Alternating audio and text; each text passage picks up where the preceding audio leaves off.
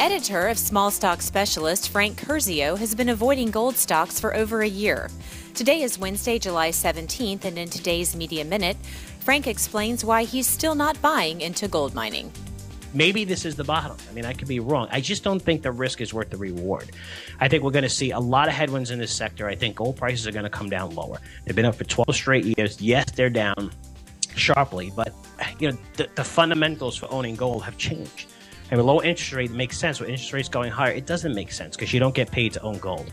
Something I'm worried about. Uh, I think you can see, you know, a lot of redemptions in this space where it's going to force gold prices and a lot of these gold stocks even lower. Maybe we've seen that already with stocks down so much, but I know that most gold miners can produce gold with prices at current levels. I also know that they've spent hundreds of billions of dollars buying assets over the past two years. And a lot of that has to be written off because they can't really produce gold.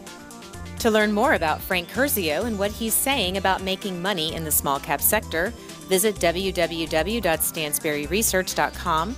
Members of the media, please contact media at stansberryresearch.com. If you'd like to receive free daily investment information from Frank and other Stansberry analysts, just click on the link below. For the Stansberry Media Minute, I'm Sarah Wilson.